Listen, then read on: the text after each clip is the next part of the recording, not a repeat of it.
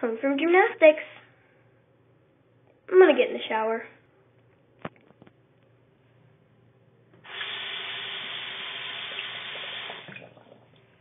All done. Alright, time to go to bed.